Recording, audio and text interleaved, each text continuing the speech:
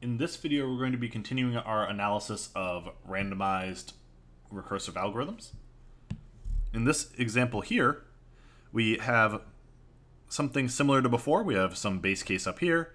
We're then computing two random numbers. And then if the first random number is less than the second, we will re return a n. And if it's not, we're going to make two recursive calls. Let's begin like we did before by looking at the worst case runtime.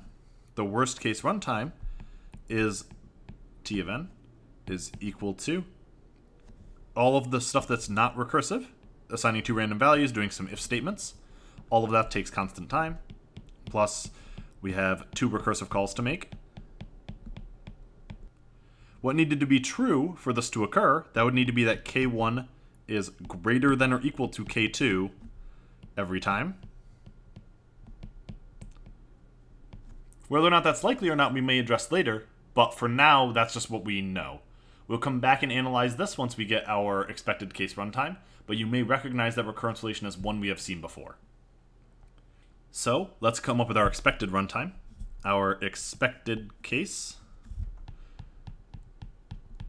is ex the expected time is equal to the probability that k1 less than k2 times the expected time given that k1 less than k2 plus the probability that the opposite is true, k1 greater than or equal to k2, times the expected time given that k1 greater than or equal to k2.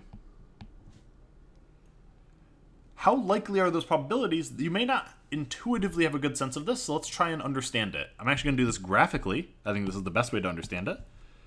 I'm going to draw two axes here. We're going to have a k1 axis and a k2 axis.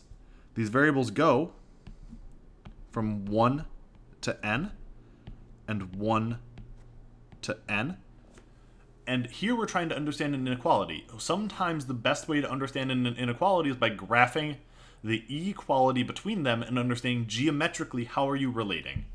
So the idea of when does k1 equal k2, depending on where we lie on a line relating to that, it will tell us something about the probability. So let's draw in a line corresponding to k1 equals k2. You could have used different letters like x and y if they made you feel more comfortable, but it's better to keep with the variables of the problem. And now we want to know, let's draw a little box here. This box corresponds to all of the possible outcomes. Every single coordinate within that box, coordinates like k1 equals 4 and k2 equals 9, n minus 3, Things like that are in that box. We want to know how much of that box corresponds to K1 being less than K2. Where is that graphically in this box? Where is that graphically in this box? There are definitely two possible answers. It's either down here, or it is up here.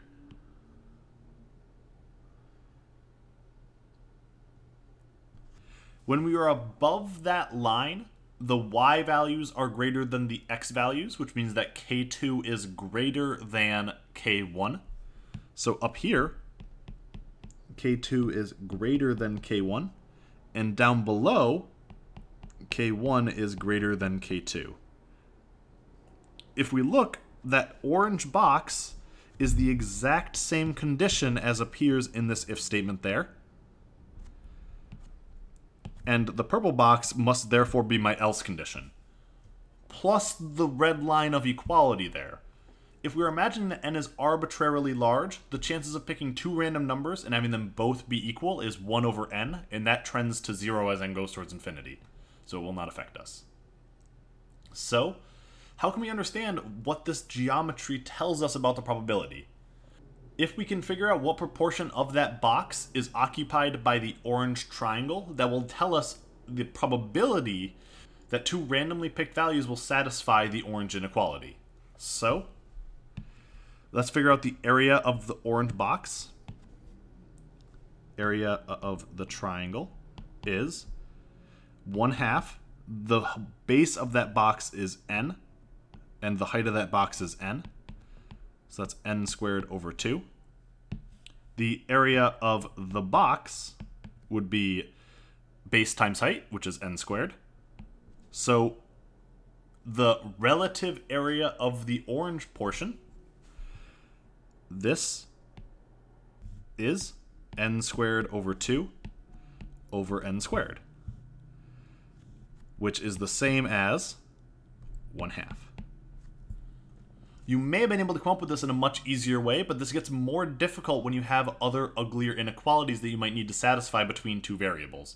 This technique generalizes. If you want to know, for two variables that are sampled uniformly, how likely is it that they relate according to some simple inequality, you could find the area of that region on some sort of 2D plot like this and it would work. Here, you may have noticed that there's no difference fundamentally between K1 and K2, so the odds that one is greater than the other is just one half. But this idea generalizes to more complicated problems and more complicated inequalities. That's a very long-winded way to say that we know something about this probability here. It's one half, which means that the opposite probability must also be one half. Now let's continue marching forward with our analysis. This means ET of n equals 1 half times what is the expected runtime given that we have k1 less than k2? That means that we are in the orange region, which means that the only thing that occurs is finding the random variables and then returning. So that takes constant time. Otherwise, we are in the purple region, which we still have that constant time operation, but then we make two recursive calls.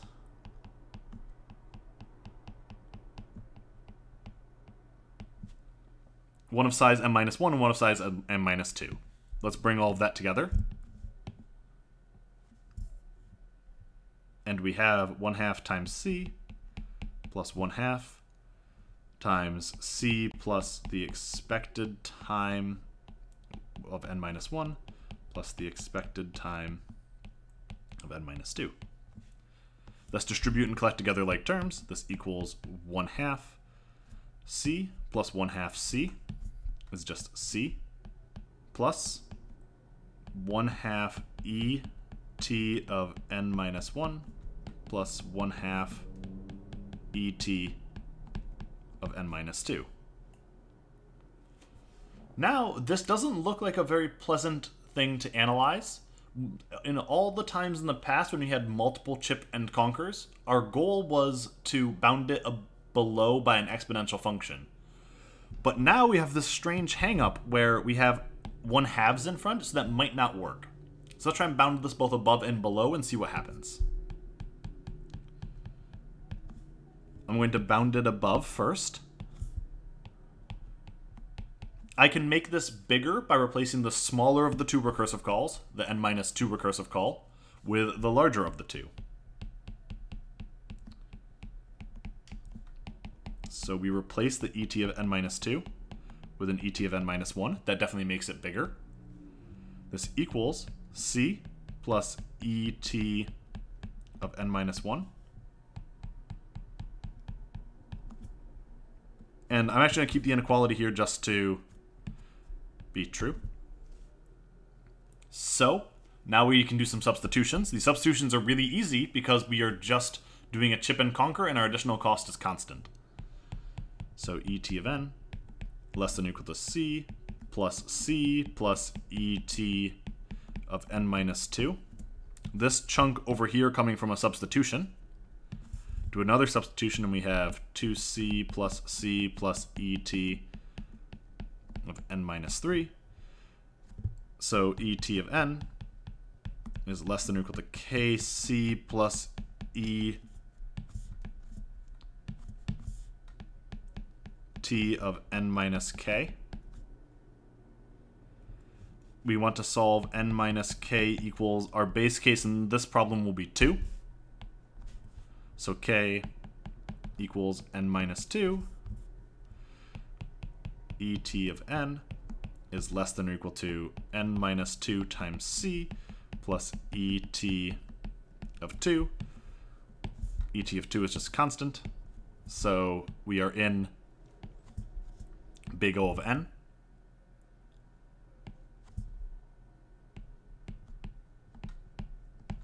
Now we must show that it is in big omega of n. I will show it's in big omega of n in blue here. So let's go back up to the original. If I want to bound this below, I can replace the larger of the two recursive calls with the smaller. So let's do that. We have et of n is greater than or equal to. The c stays around. The larger of the two gets replaced by the smaller, so the et of n minus 1 changes the et of n minus 2. And the other et of n minus 2 will hang around. Let's group together our like terms. We have c plus et n minus 2. This is greater than or equal to c plus c plus et of n minus 4 which is greater than or equal to c plus c plus c plus et of n minus 6, which is greater than or equal to kc plus et of n minus 2k. We want to solve n minus 2k equals 2, which is k equals n minus 2 over 2. This is greater than or equal to n minus 2 over 2 times c plus et of 2, which again is just constant. So, this is in big omega of n. Therefore, et of n is in theta of n. How does this help us or what does this do for us? Well, let's go up. We have an expected time of n and a worst case that obeys this sort of ugly looking recurrence relation that we've seen here. So let's find out what that worst case runtime actually is. So let's do that down here. Worst case, t of n is equal to c plus t of n minus 1 plus t of n minus 2. We are going to bound this below. Why do we bound this below? This should look a lot like the Fibonacci sequence. In fact, it's the same, so we're going to go through it kind of quickly. This is greater than or equal to. I can drop all of the other terms and then replace the larger recursive call with a copy of the smaller. So replace the t of n minus 1 with a t of n minus 2 and keep the other t of n minus 2 around. And now we'll perform several substitutions. This is 2 t of n minus 2. Perform a substitution, and then we get 2 times 2 t of n minus 4. Do another substitution, and we get 2 times 2 times 2 t of n minus 6 and we notice a pattern of t of n is greater than or equal to 2 to the k, t of n minus 2k. We want to solve n minus 2k equals our base case of 2, which is k equals n minus 2 over 2. Plugging that in, we have t of n greater than or equal to 2 to the n minus 2 over 2 times t of 2 t of 2 is just 1. Or, sorry, t of 2 is just constant. So, our worst case is in omega of 2 to the n over 2, which is the same as omega of radical 2 to the n. I again did that kind of quickly because we've seen that before. If you need to go through more slowly, do not be afraid to do so, but I did not do that here. So our worst case runtime is bounded below by an exponential, but our actual runtime is in theta of n. These are about as divergent as you could possibly see for something like this. We have a very, very nice expected time and a very ugly worst case runtime. What is our best case runtime? Well, our best case runtime is actually constant. Our best case runtime would be that we just do this, call to random numbers, and then it immediately returns. So our best case actually, our best case runtime is theta of 1. So again, we have a broad spectrum here. Part of the reason the worst case is so bad is that we get this exponential increase in the number of recursive calls that leads to this exponential lower bound. And our expected case, the only way that that could happen, that exponential increase, is that you continually pass these thresholds of uh, half of a probability. So half of the time, we immediately terminate and have a constant runtime. And then we can continually compute that and see how unlikely it is that that worst case would actually occur and that unlikeliness of the worst case is part of the reason that the expected case ends up being so divergent from it.